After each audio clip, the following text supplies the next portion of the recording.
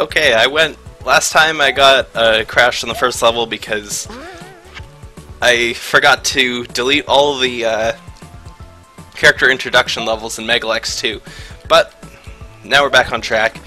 So, uh, next character is Klonoa, first character that I haven't played as before at all.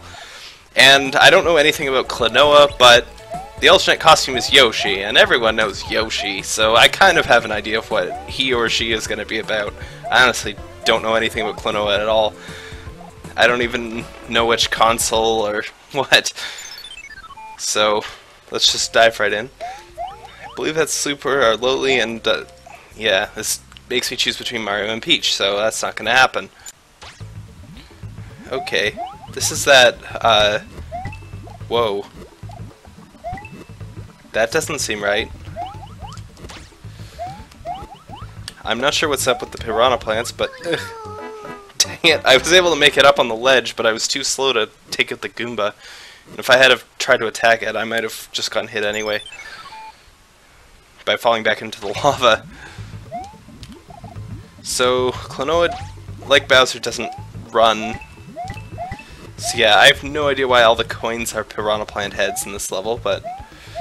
It certainly wasn't like that the last time I played through, so...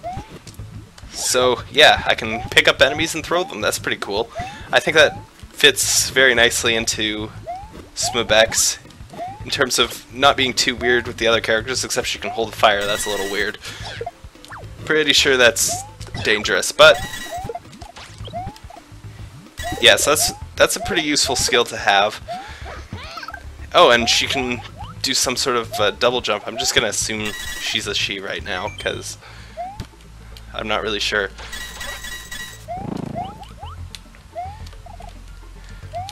So I can, as long as I'm holding something, I can get a huge height boost, which is, might get me past some otherwise unwinnable situations elsewhere. I probably should have, uh, you know, tried to get a power-up or something. Oh, shoot. Some reason I thought I'd be able to make that, but I wasn't.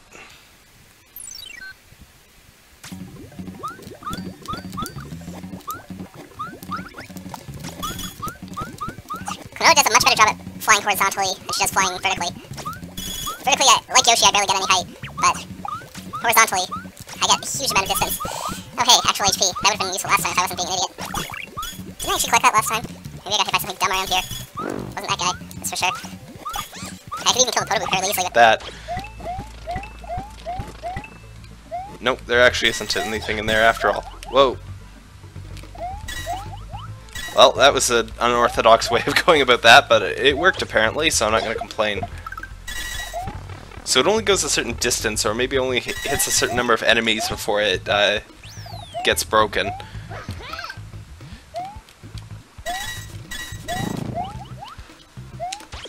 Yoink. Still holding fire. You can die. Yeah, playing as Klonoa is super fun, I think. Let's see how the ice flower works, or what it even does. Okay, so now it's an ice cube. And it just kind of flies over there. What happens if I throw it downward? It doesn't go... Okay, so that's neat. I can basically throw a platform underneath myself like this. That could be super useful in a lot of places.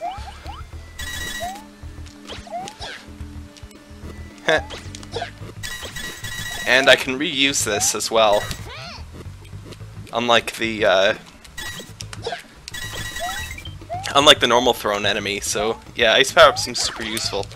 Oops. For some reason I was expecting to glide up and then throw it, even though that completely contradicts all the behaviors so far. And that... What happens if I grab the ice now? Does it react? No! Aha, I didn't see that guy. So it reacts the same way as long as I... As, as long as it was frozen to begin with. Kill that Podoboo so he's not interfering with my face. Dang it. I kind of gli glided too far to begin with and then overcompensated. Panicked and whatnot. Not gonna fly over that gap. so with Klonoa it seems that once I start flying, I gotta be flying for the normal duration. I can't, like, hold it for just a bit less, so I gotta be careful with that. And you're nothing interesting now because I don't have a mushroom to start with. You can die. I can even grab the Podoboo. In case holding the other type of fire wasn't already dangerous enough. Point. Now I'll try to do a better job of seeing what Goombas in the fog down there because, yeah, I don't think there are any right now, but there's no power from there, really. Okay, better do a better job this time. Point. See, that's not that hard. It's just a single fire enemy. I'm not sure why that held me up for even a second, but it is like 11 o'clock at night, so that probably has something to do with it. Whoa, I can have this guy spew hammers. Uh, it just like, that's pretty powerful actually, because like, normally you can only get that power with other characters if you have a plant that spawns a Hammer Brother. But with Klonoa, it's like, yeah, Hammer Brothers at the ears if you want them. Okay. I figured as much. I didn't think I'd be able to grab a Thwomp, but I can grab a Boo, which is pretty nice. Dang it. I shouldn't have messed that up. Oh, that's not going to be hopefully I can get enough height with this one remaining boo that I have. Dang it, I messed up again and threw it. Yeah, because I don't think I can make that. Even if I time it perfectly. And I can't spin jump, so... Yeah, I don't see what I'm going to be able to do to get past this without another enemy. Oh, well there is another enemy, so maybe that'll help at least. If I can somehow get him to the top of... Ah, you douchebag. Stupid friendly enemy. Well, now I'm pretty sure I have to jump down the hole. Goodbye, world. But I still think it's possible to get through the level, so I'm not going to ditch it just yet and re-roll. Even though I am kind of running out of lives because I've been messing up a lot. Oh yeah, don't need to worry about that Sniffit, because he's friendly. I already figured that out, so... Okay, you have to actually throw it. You can't use it as a shield like other characters can. So let's see if I can not mess this up this time and make it to that other platform. I've only got one shot though, unfortunately. Made it. Okay. Let's not mess this up, hopefully. Dang it, almost messing this up. Oh no, you jerk. So let's... I don't know if I can get the boos up there. Okay, that's the end, thank goodness, because... Whoa! Ah, oh, crud. I wasn't expecting to get squashed there. This level works a lot better with Mario.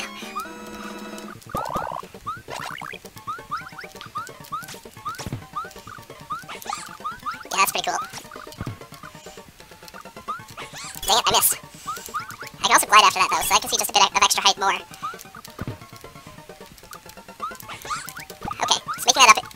Up there is a little bit easier when I can also glide. You get over here. Oh, I'm slowly moving that Thwomp over somewhere else. Not that that helps me any, but...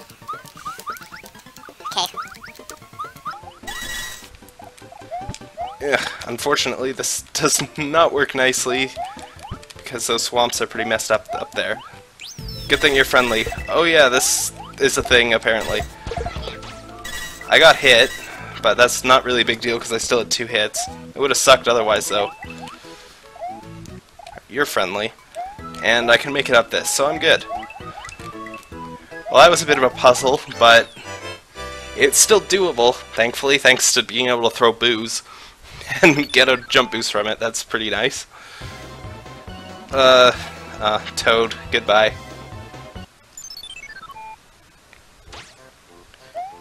Princess Cliche. Mushroom Castle. Are there any 1-ups in here? Because I could really use some of those. This is kind of random because it's just a town level in the middle of everything, but hopefully there's some sort of 1-up. Oh, it's a star in here. Arguably, I should have searched more for 1-ups, but whatever. Maybe I'll just get two more uh, Yoshi's House and other thing. At least this just is, seems like an average Invasion 2 level. So hopefully as long as I don't mess up. Dang it, I was really hoping for a power up there. Oh, I can't hit that guy. Well, at least this gives me an extra hit. Can I still fly? No. Okay. I can't do anything, any of my normal shenanigans, as long as I'm inside this boot. What happens if I get in the... It just kind of floats there. And then it teleports to me after I, uh... So, get in the boot. Yeah, now I can throw it. well, that's kind of random, but... Bounce up here. By jumping out, I can make it over to the ledge and save the boot, but not that it really matters because I don't need... because I didn't really need to get over to that ledge for any reason, but oh well. Midpoint. I worked so hard to get that midpoint. Yes, a free life. That I don't think I can actually get. Maybe with some shenanigans. Oh, maybe if I fly over from that platform, considering I've got so much horizontal distance. Let's try that.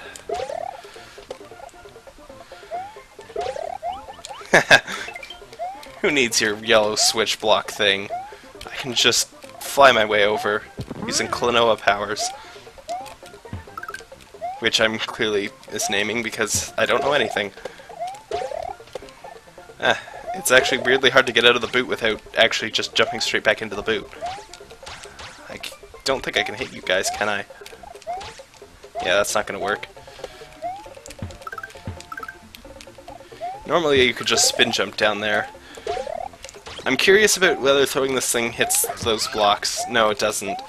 Not that it really matters, because I need like four of them, and I only had one. But just for future puzzle solving endeavors, it could be useful to know stuff like that.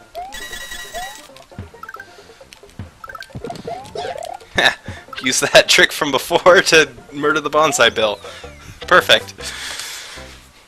That's actually an interesting gameplay mechanic, although it's a bit janky, so I can... Well, uh, guess I'm gonna have to say goodbye to the good old boot.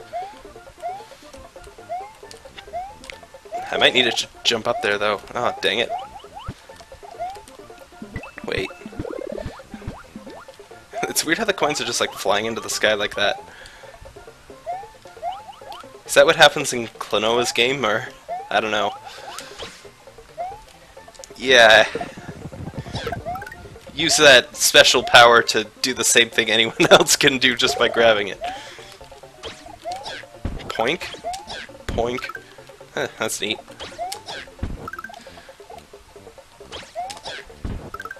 One more, probably.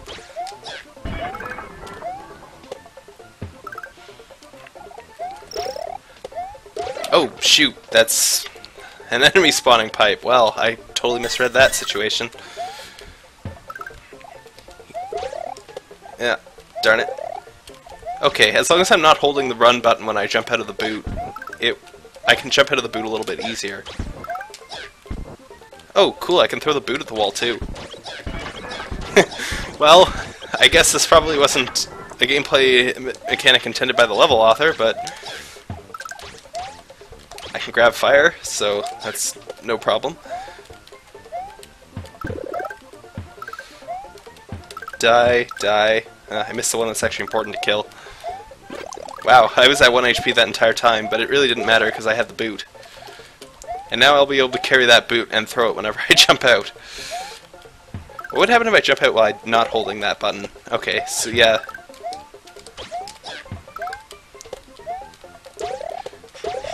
Dang it. Throw this back and forth because it's way faster. Whoa! Dang it. Let's continue my double booting shenanigans. Yeah, that's that feels kind of weird to me, but no big deal. at least I got revenge on him.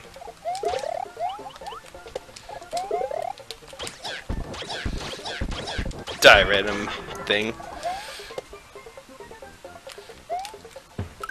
Wow, there sure are a lot of these things.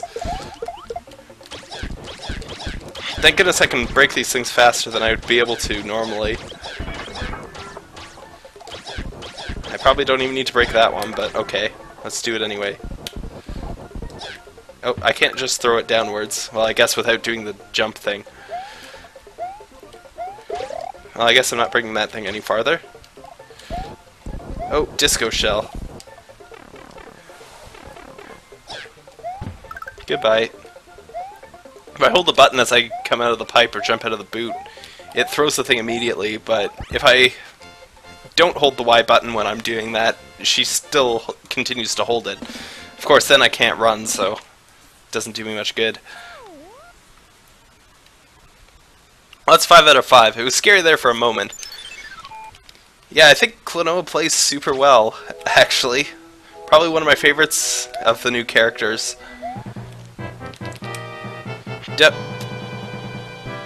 She can definitely compete with, in terms of movement and in terms of uh, power, so one of the most well-rounded, to be honest.